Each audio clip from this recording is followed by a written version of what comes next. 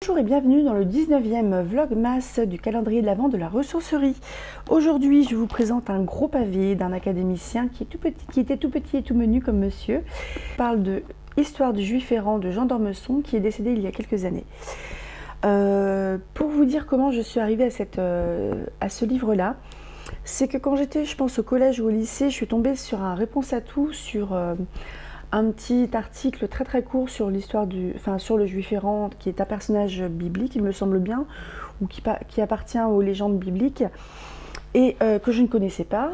Et en fait, le fait de lire juste ce, petit article, ça m'a donné envie d'écrire une histoire sur euh, le juif errant, donc une nouvelle. Euh, je crois bien que cette nouvelle avait gagné un concours d'ailleurs. Et en fait, euh, je suis tombée sur, sur ce bouquin-là après, donc j'ai sauté dessus. On est sur du gros pavé parce qu'il fait, oh, ouais, il fait plus de 600 pages. À Venise, au pied de la douane de mer, en face du palais des Doges et de San Giorgio Maggiore, avec son haut campanile, deux jeunes gens qui s'aiment vont écouter, le soir, un personnage surprenant qui porte beaucoup de noms. Ces récits les emportent, à travers l'espace et le temps, dans un tourbillon d'aventures où passent à toute allure, sous des éclairages imprévus, assez peu familiers aux enfants des écoles, Stendhal et Christophe Colomb, des Chinois et des Arabes, le procurateur de Judée et des guerriers vikings, le raid israélien sur NTB et l'invention du zéro, les amours de Pauline Borghese et les mille et une nuits, toutes les passions du monde et aussi ses misères.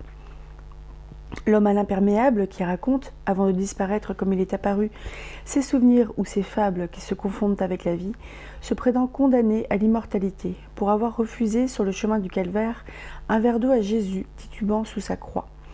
Son histoire d'éternité fait revivre un mythe aussi universel que Don Juan ou le docteur Faust, le juif errant.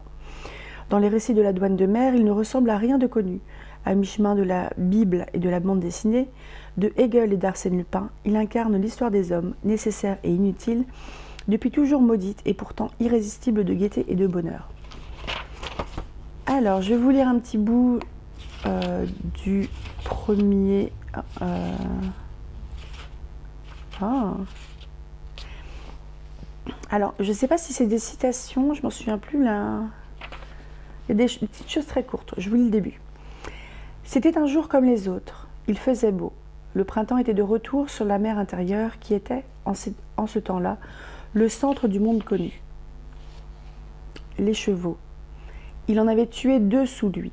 Le rêve, la hantise de l'eau, les déserts de pierre, les grands fleuves à sec, aux noms étranges et douteux, les hautes montagnes au loin, la neige sur les sommets, la caravane ondulait.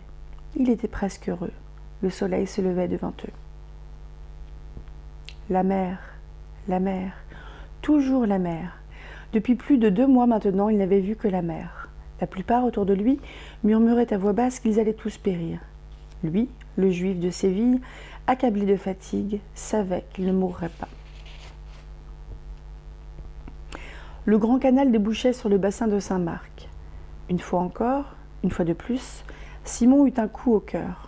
À peine changé depuis tant de siècles, rêve d'éternité dans la fragilité, la ville d'orgueil et d'eau s'étendait sous ses yeux. Je saute un passage et je voulais un petit bout de la suite. La fatigue l'accablait.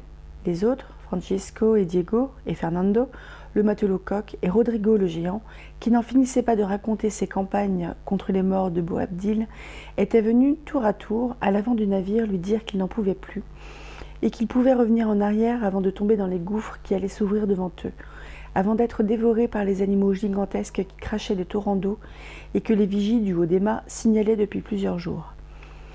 Lui n'avait même pas ce recours de la peur. Il savait qu'il ne lui arriverait rien et que sa seule présence sur la Santa Maria était la preuve d'avance d'un salut inutile et encore inconnu qui lui pesait plus que tout. Quand le jeune mousse de Triana, pris d'un accès de folie, s'était jeté dans la mer par-dessus le bastingage comme il l'avait compris et envié, la lassitude, l'épuisement, la hantise de l'aquabon. Le désir d'en finir le tenait depuis toujours. Il passait au bord pour un original, pour un drôle de pistolet. Aussi loin qu'il remonta dans ses souvenirs sans nombre, c'était la même chose. Déjà, quand il se battait sur le Danube ou du côté de Sermizegetusa contre les das de, du Décébal, Quand il, quand il coltinait sur son dos, au fin fond de l'Irlande, les manuscrits sans prix du monastère de Glendalor, quand il guettait les Turcs sur les galères de Bragadin, quand il se baladait avec frère Jean dans les déserts brûlants et glaciaux de l'Asie, personne ne craignait la mort moins que lui, qui n'attendait rien du ciel, ni du monde, ni des hommes. C'est une très très belle langue. J'aime beaucoup le style de Jean d'Ormesson. Il faudrait vraiment que j'en lise plusieurs. Euh, il me semble que j'ai un autre livre euh, de lui. Je suis toujours en plein rangement de ma bibliothèque. Euh, ce qui est plus un endroit de stockage qu'un truc, qu'un élément de déco. Hein. je vous montrerai ça quand j'aurai fini.